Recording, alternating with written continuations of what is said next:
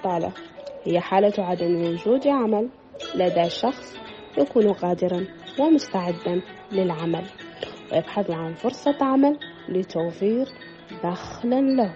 هي أحد التحديات الأكثر صعوبة التي تواجه الحكومة ومع استمرار تدفق الخريجين من الجامعات إلى سوق العمل وتراجع أداء القطاع الخاص.